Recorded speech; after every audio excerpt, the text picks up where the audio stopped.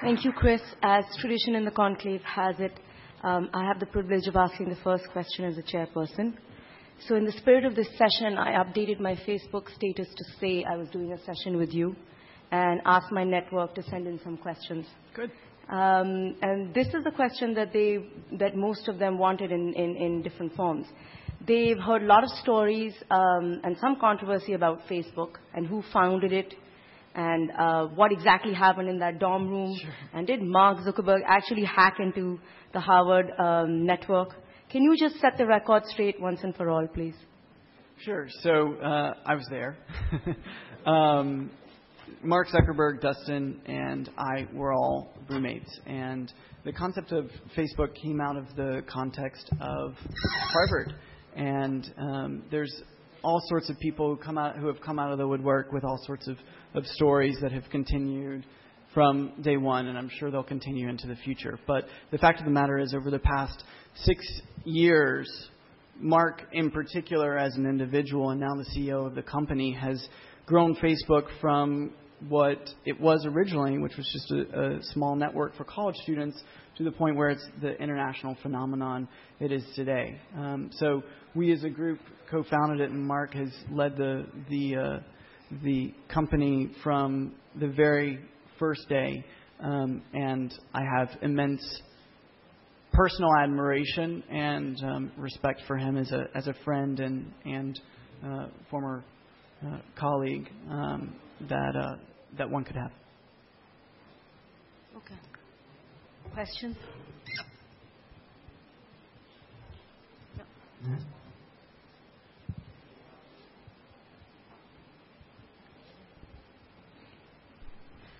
Chris, uh, thank you for the excellent presentation. Can you hear me? Yes. My name is Bobby Seigel. In the last week or so, Facebook has been under tremendous attack in the UK for reasons where Facebook is being, using, is being used by sexual offenders. Mm-hmm. And there is some talk of policing of Facebook and control of Facebook. What are your views on that? And there's talk of putting a panic button on there as well. Yeah, that's right. Yes. Yeah. So privacy has been at the core of what Facebook has been about from the very beginning. And in reading about um, you know some of the things that have happened recently in in the UK and elsewhere, I think um, uh, you know my own personal condolences go out to um, the young woman's family and um, everyone who's who's uh, been through uh, that experience. But the thing that is really unique about what Facebook does is give complete control over users, over their information. And just as in everyday life, we have to be smart about who we talk to, what we talk about, and to not necessarily assume that a stranger who approaches us and friendly is exactly what they seem. So, too, do we need to do the same thing on the web. I think that the more that we can teach ourselves, but more importantly, our kids who are on uh, Facebook and all across the web, to be careful and to be intentional about the information that they share, the stronger we'll be as as a society. I, I think that there's no way to get around this this issue. No matter what, we're going to be able to text random uh, people on our cell phones. We're going to be able to connect to people that we don't know on the on the web. And the challenge is just to be thoughtful about how we do it and to make sure that um, we connect to, to individuals that we know. In particular on Facebook, what I always recommend is only accept people to be your friends who are your friends. You know, it sounds it sounds like the easiest thing in the world, but I think it's um, something that um, uh, people feel a little weird about. They feel like they shouldn't ignore a request from someone that they don't know. It's a friend request if you don't if you don't know the person, you don't necessarily need uh, need to be friends with them, and that's what I personally do, and that's what I recommend to people across the board. But you at the end of the day, you have to be smart about how you use the network, and you have to be intentional. Chris, you have thousand friends on your Facebook. I do. I do. I have. You said the average is 130. The average is 130. I've been on Facebook for six years, and I meet a lot of people. So um, I do. Yeah, Chris.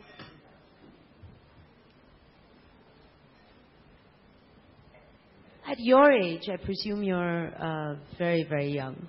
Um, how how do you deal with the tremendous success and fortune that you obviously have amassed at such an early age?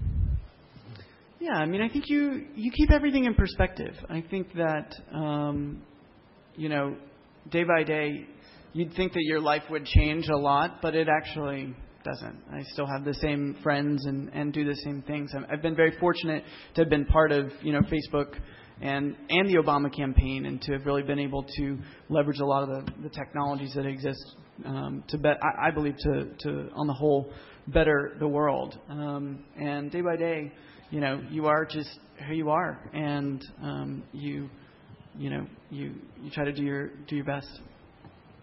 Yeah. Yeah, absolutely. I mean, there's a there's immense opportunity. I think that just because the the web has evolved in the way that it has, um, I think more and more people realize that there's a true paradigm shift happening, and so the extent to which I can, you know, contribute my own skills and my own background and work to the causes and, and that are important to me and the people that um, that I think genuinely are interested in embracing the technology, the better. I'm I'm very fortunate to be able to to, to be able to help. So you you you don't feel you're done with everything and you're going to just sit back now and enjoy no. the fame and money. No, definitely not. I'm just getting started. Good. Um, six years of Facebook. A very simple question. What do we expect in the next level? Are you planning, changing? I mean, something has to give. What What do we expect in the next decade?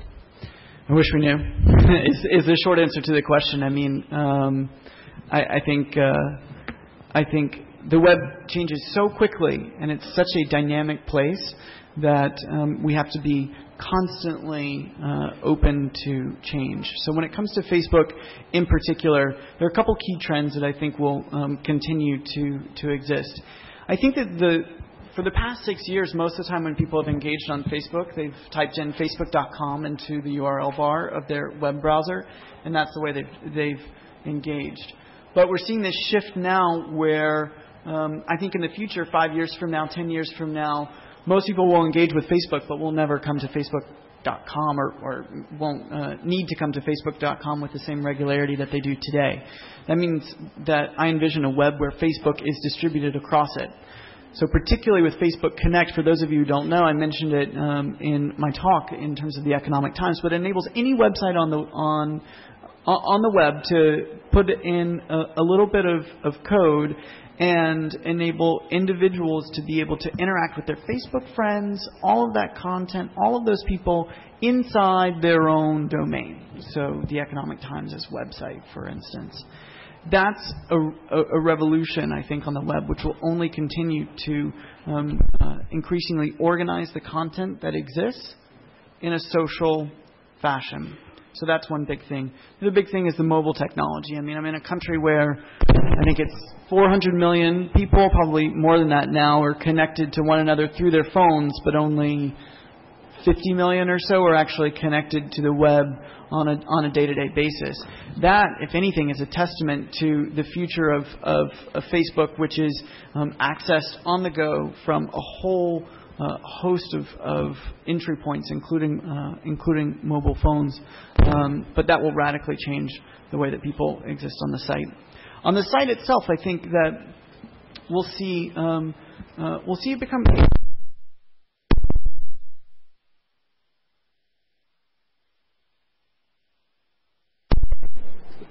Are we back?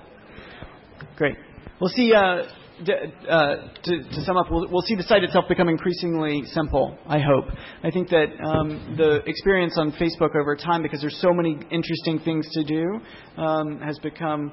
Uh, uh for a time, increasingly complex, but with this mo- uh, most recent redesign and for uh, some of the, the, the stuff that's planned in the future, simplicity will be the key. So those are three key things that I think will change over the next 10 years, Can five years. just uh, go back to your first point? This is one of the things that I think Google is most scared about, that people are going to stay within Facebook and do their searches and find all their recommendations from their own network and from their Facebook friends. Is this something that you're working towards, or is this something that's going to happen? Well, I think there's a there's a couple different ways that information um, can and already is organized on the web. I mean, Google, I mean, talk about a, a revolution. Uh, really, you know, uh, uh, built search technology to make it so that individuals could find exactly what they were looking for in you know seconds, which was a true revolution. But Google, in that sense, is its own filter of the web. It's what um, a, a, team of uh, genius uh, engineers uh, build every day to make sure that it's actually useful um, for us to be able to find the information we're most interested in. I think the filter at Facebook is a little bit different. It too is a filter for information in the same, in, in a similar sense that Google is, except that it's what your your friends, your colleagues, your family members are um, interested in at any given point in time. So it doesn't require you to say, okay, I want to find out about you know what are sporting events coming up in Delhi this weekend. Instead, you might find a sporting event that's going that one of your friends is attending through uh, through the Facebook feed. So I think these things are really Im- important, and we need the world needs both. We need a place where we can find a, an answer to a very specific question like Google, but we also need uh, other filters that can help us make sure we can get to the most interesting information as efficiently as possible. I'm sure Google there is breathing easy. Can we take a question from the back, please? Dilip?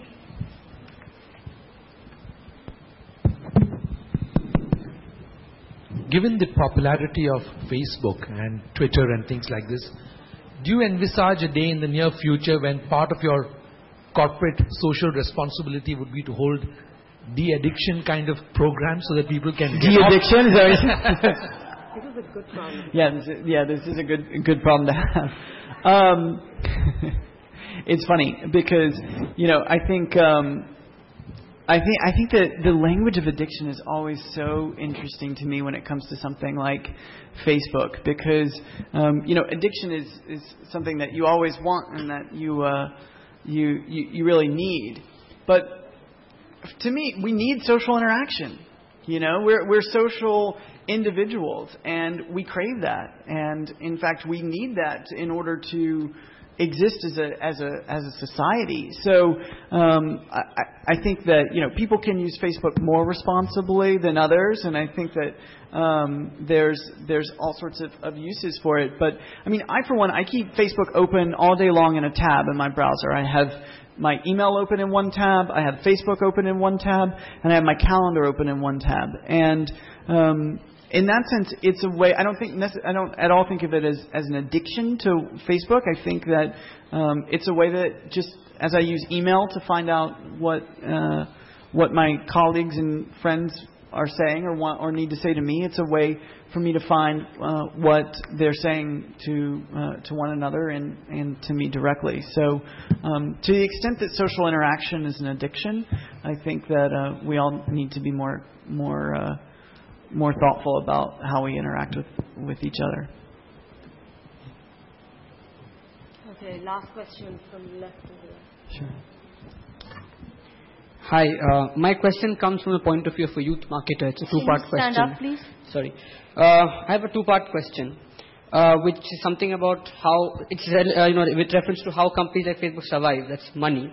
One is it seems that you know social media advertising has become all about numbers, you know, uh, where the pay-per-click model, pay-per impression, etc. Uh, while it, therefore it lacks traditional qualitative engagement, which leads to either sales conversion or brand growth. So how will this bubble survive if in terms of ROI for advertisers? And my second part is, so then the fundamental question arises about how sustainably profitable are social media enterprises in terms of, because it's a business, right? It's not a public utility service and you have investors. So that's yeah, my question. No, yeah. absolutely. So um, when it comes to advertising, advertising is, is the revenue source on Facebook, and there's there's several different types of, of ads. There's um, some of the more traditional ones that, that you would uh, expect, the things that sit on the side of the page, which um, are targeted to um, uh, certain people, uh, dependent on what the advertiser is, is interested in or or advertising. But I think that the the future of advertising on a place like Facebook is much more in um, in and around the, what are called what we call social engagement ads. So, in other words, um, a company can come in and sort of seed a piece of content on Facebook, which then opens up the possibility for people to interact with it. To click that little like button to say, oh, I think this is interesting, to comment on it, to send it to a friend, maybe to post it on their profile. There's all sorts of ways that people can interact with that content. And what is really interesting and I think promising to to me is a, the, this vision of the world where advertising stops being about pushing things on people, but instead becomes about offering something up and then enabling the people that are interested in it to say, oh, this is cool, I want to tell my friends. So the old paradigm would be to show a sexy uh, uh, model with a car and say, you should go and buy this.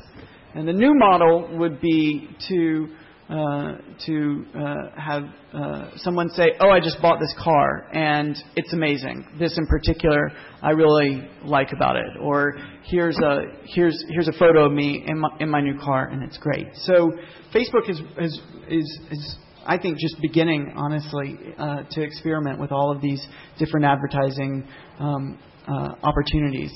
Um, so we'll see we'll see where it goes. Thank you very much, Chris. That was uh, fantastic.